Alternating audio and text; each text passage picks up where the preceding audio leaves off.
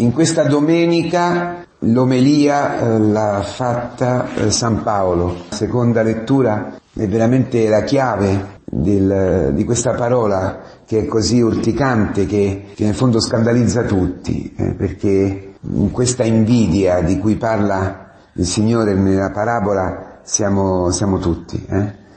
da bambini fino a oggi, fino forse eh, al giorno della morte, non lo so. L'invidia, l'invidia che è uno sguardo storto, uno sguardo che non è puro, che non è diritto, uno sguardo sporcato, uno sguardo che è stato come iniettato di malizia, l'invidia per la quale è morto Cristo, come appare nel Vangelo, l'invidia per la quale è entrata nel mondo la morte eh, e ne fanno esperienza coloro che appartengono al demonio che è il padre dell'invidia, Lucifero, che è decaduto proprio per invidia. Esattamente ciò che appare oggi in questo Vangelo, che è anche una, un bellissimo midrash, cioè una bellissima eh, spiegazione di ciò che è il peccato originale e come dal peccato originale possiamo essere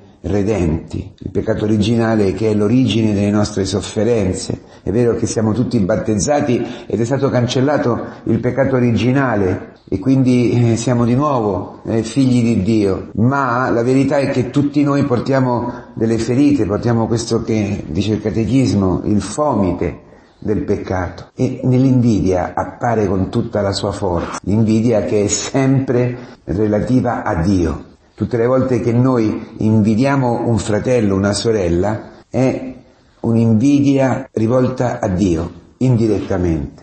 Per questo dice, voi invidiate me che sono buono, non invidiate il fratello a cui ho dato la stessa paga. Questo è un principio molto profondo, perché attento quando invidia, attento quando un ragazzo, un figlio, una figlia è invidioso del fratello, della sorella, c'è un'invidia più grande, più profonda dalla quale sorge e scaturisce l'invidia tra fratelli, è quella contro Dio, perché il demonio è riuscito a sporcare lo sguardo che abbiamo su di lui e, non lo riteniamo buono, non lo riteniamo un padre pieno di misericordia e tenerezza che vuole il nostro bene, che pensa in tutto e provvede in tutto al nostro bene che è la salvezza della nostra anima. San Paolo, fratelli, Cristo sarà glorificato nel mio corpo, sia che io viva sia che io muoia. Per me infatti il vivere è Cristo e il morire è un guadagno. Ma se il vivere nel corpo significa lavorare con frutto, non so davvero cosa scegliere. È beato lui che, che aveva questo, questo, dubbio nel fondo del suo cuore. Eh? Se andare con Cristo o restare in terra per amare, per lavorare con frutto non so noi se abbiamo questo dubbio, io credo che eh, dubbio, non c'è dubbio, eh? forse, magari avessimo anche noi questo dubbio, ma probabilmente noi no, no, no, rimaniamo qui, stiamo tranquilli, eh, senza tante malattie, senza tanti problemi, che è meglio stare qua. E questo che sembra una battuta è esattamente la chiave per comprendere eh, il mistero enorme che si cela nella parabola del Signore e che oggi vuole rivelare a tutti noi.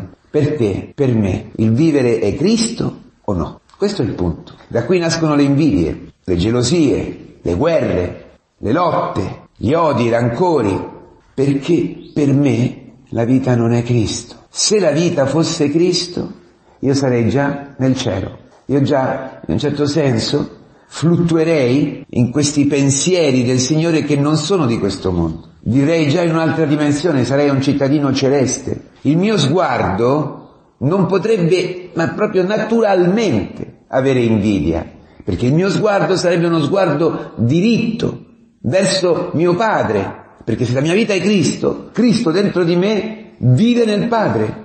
Io già vivo nella certezza, che è l'esperienza, che Dio mi ama, che Dio provvede la mia vita, anche nelle situazioni più difficili, anche nei momenti più dolorosi, Dio mi sta ammaestrando, Dio mi sta conducendo con amore perché le sue vie non sono le mie. Lui non si piega alla mia agenda, lui ha un'altra agenda che è quella della mia salvezza, e non solo, ma attraverso di me la salvezza di molti altri. E possiamo costantemente, dice Isaia, tornare a Lui proprio perché in questa agenda è prevista sempre la misericordia. Finché siamo in questo corpo, finché siamo in questa vita terrena, c'è sempre la possibilità di tornare a Lui, di convertirci. Quello che è successo a San Paolo, che è una conversione, noi chiamiamo conversione di San Paolo, ma se la analizziamo bene, vediamo che smonta anche lì tantissime nostre certezze o tantissimi nostri schemi, perché le vie di Dio sovrastano anche le nostre idee di conversione, anche le nostre idee di approccio con il Signore, che sono tutte religiose naturali, per cui andiamo al tempio, per cui per, come anche ci sono in tutti i templi orientali, vedete queste brocchette di purificazione, perché tutti sappiamo, tutti gli uomini sanno che devono purificarsi da qualcosa, ma non funziona così, perché San Paolo, San Paolo correva ad uccidere i cristiani.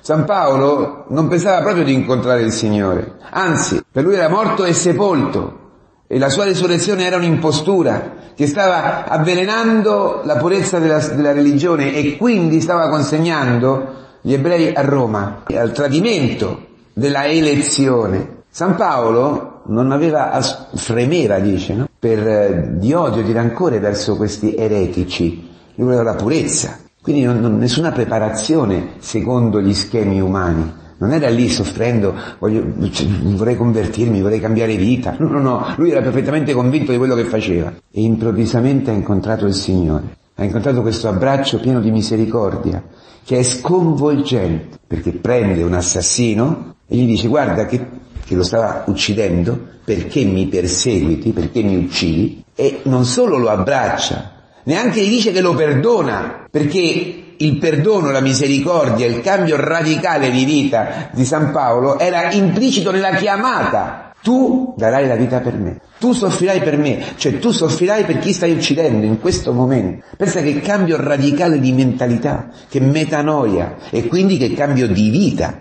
che cambio di cuore, che cambio di criteri. In questo amore sconvolgente per cui Paolo dirà, io, io non sono neanche degno di essere chiamato apostolo, io sono l'ultimo, l'ultimo, un pochino risuona qui, risuonano qui le parole del figlio prodigo, quando dice, non sono degno di essere chiamato figlio, eh. Mettimi là come l'ultimo dei garzoni, mi basta stare all'ultimo posto in casa, basta che mi fai tornare a casa, basta che mi fai tornare nella tua comunione, in quello che avevo sperimentato, quando prima de, dell'inganno, che mi ha portato a cercare la vita laddove non c'è. Così San Paolo, che ha conosciuto questo amore gratuito, che lui non sospettava esistere, che ha cambiato completamente la sua visione su Dio, da questo momento, da questo amore che lo ha intercettato e lo ha, lo ha posto dentro questo altoforno, che è capace di convertire, cioè di cambiare natura ai sassi e farli diventare figli di Abramo, lui dice, per me vivere Cristo. Per cui la mia vita è lavorare per Cristo e portare il frutto di ciò che ha dato la vita a me, annunciare il suo Vangelo, perdere la mia vita per Lui. Ah, allora il denaro di cui parla il Signore è Cristo. Il denaro è l'intimità con Lui. Il denaro è la vita eterna, che è Cristo. Per questo dice la parabola, il regno dei cieli è simile. Cioè nel regno dei cieli che sovrasta la terra, che sovrasta i criteri del mondo, questo è il, questa è la mentalità. Nel regno dei cieli questa è la visione, questi sono i criteri, che non sono quelli vostri. I miei criteri, i miei piani, i miei progetti, le mie strade, i miei cammini sono completamente diversi dai vostri, che sono appiattiti sulla terra e che come fine hanno una parete, che è la morte, no? Il mio figlio Gesù Cristo ha vinto la morte, dice il Signore Dio Padre, a tutti noi oggi attraverso questa parabola. Mio figlio ha vinto la morte e questa vittoria sulla morte è ciò che fa vivere te oltre la morte ogni istante, oltre la morte che è l'inganno che fa pensare male di me, che fa pensare male di mio padre, che fa pensare male quindi della mia vita, che quindi mi fa invidiare, mi fa desiderare ciò che non ho, mi fa pensare a isole che non esistono, dove potrei essere felice, dove potrei realizzarmi, conventi, relazioni migliori di quelle che sto vivendo oggi qui, sorelle molto più accondiscendenti, sorelle meno nevrotiche, sorelle che possono capirmi, o se vogliamo un marito migliore, che non è quello che io pensavo fosse quando mi sono sposata, o quando mi sono sposato, una moglie diversa, che è un classico con il quale iniziano tutti i divorzi. Mi sono svegliata una mattina e non ho trovato l'invasore, anzi sì, ecco, tutti cantano bella ciao, eh, quando vogliono divorziare, perché una mattina si svegliano, dopo vent'anni, 15, 7, 8 di matrimonio e trovano un invasore nel letto. Dice questo non è mio marito. Io non pensavo che fosse lui. Io pensavo un altro quando mi sono sposato e con questo abbiamo chiuso, abbiamo chiuso questo inganno profondo, perché dietro c'è l'inganno sulla propria storia, sulla propria vita. Per questo, che cosa oggi è giusto per te? Questo sarebbe eh, l'esercizio da fare tutti i giorni, la mattina e la sera. Oggi cosa sarebbe giusto che si compisse nella mia giornata? Questo pregando, mi tirare un quadernino, oggi sarebbe giusto se la sorella mi interpellasse su questa cosa che dobbiamo fare, per esempio. E poi la sera, quello che è giusto e quello che è ingiusto. È ingiusto perché non mi ha interpellato. È ingiusto perché non dovevo avere questo mal di denti, è ingiusto perché non mi hanno pagato come dovevano pagarmi, è ingiusto perché mio figlio ha fatto così, è, giu- è, ingiusto perché potevo essere un pochino più alto. Una ragazza potrebbe dire è ingiusto perché questo corpo non mi piace, i ragazzi non mi vedono, quindi mi devo spogliare ancora di più, eccetera.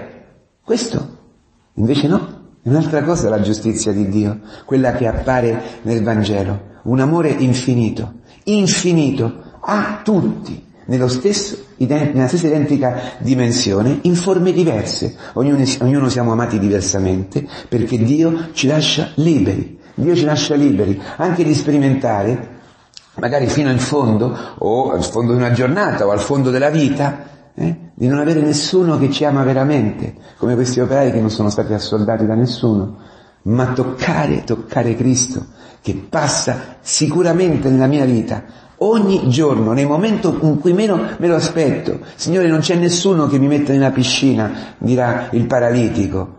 Ma tu, ma tu, Signore, mi hai messo molto più che nella piscina. Ti sei donato a me, senza riserve. Hai cambiato radicalmente la mia vita. Per questo la mia vita è vivere, e sei tu. Allora che tu sia glorificato, come dice Paolo, nel mio corpo. Questo è il mio lavoro, questa è la mia mercede, questo è il mio stipendio, questa è la mia gioia che la gloria di Dio, cioè la presenza di Dio, che è la presenza di Cristo nella mia vita, trasformi radicalmente tutto quello che faccio.